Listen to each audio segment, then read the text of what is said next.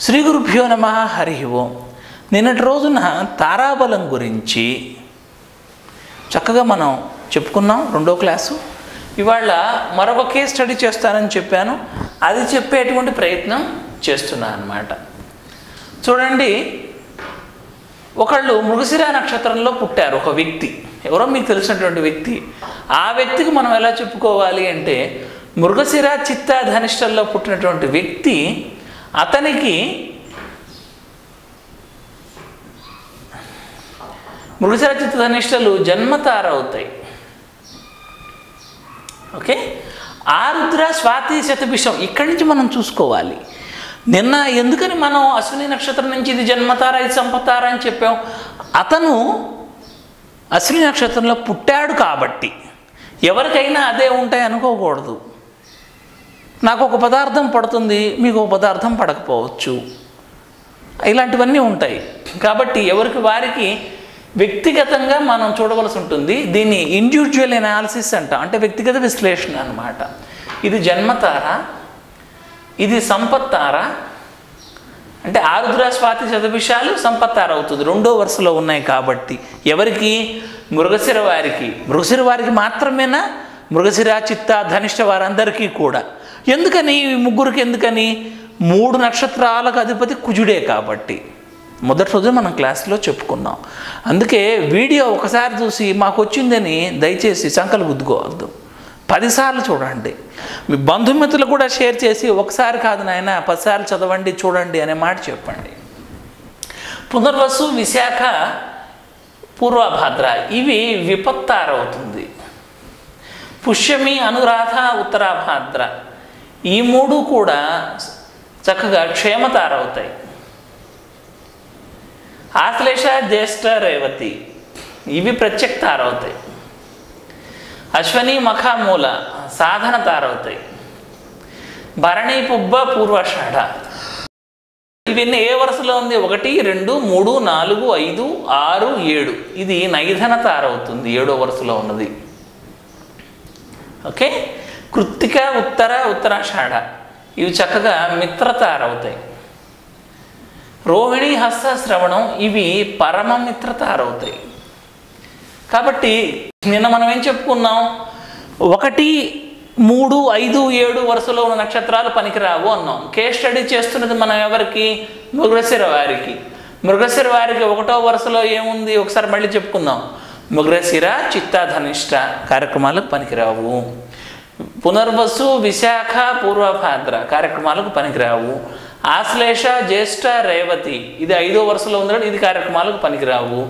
భరణి పుబ్బ పూర్వాషాఢ ఏడో వరుసలో ఉన్నాయి కాబట్టి ఇవి కూడా పనికిరావు. పనికొచ్చేటువంటివి ఏమిటి? మొన్నే చెప్పుకున్నాం మనం. సరి వరుసల్లో ఉన్నవి రెండు నాలుగు ఆరు ఎనిమిది వీటికి అదనంగా తొమ్మిది కూడా పనిచేస్తుందని.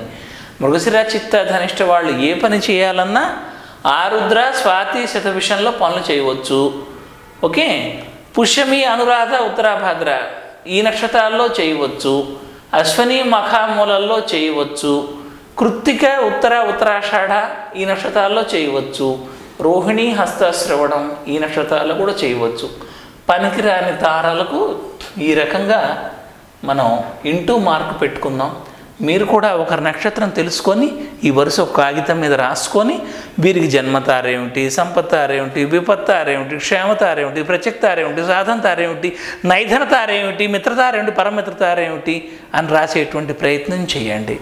మీ అందరికీ కూడా నా హృదయపూర్వక విజ్ఞప్తి చక్కగా ఏదో రెండు ముక్కలు చెప్పగలిగినా నిత్య విద్యార్థి నాలాంటి వాళ్ళ దగ్గర నేర్చుకునే ప్రయత్నం చేయండి. లేదా మీ అంతటా మీరు పరిశీలన పరిశోధన చేపట్టి ముందుకెళ్ళే ప్రయత్నం చేయండి. ఏదో నాటికి మీరు కొన్ని రహస్యాలు విషయాలు తెలుసుకోగలుగుతారు. దయచేసి తెలుగు విశ్వవిద్యాలయంలో మాత్రం జ్యోతిష్యం కోసం చేరకండి.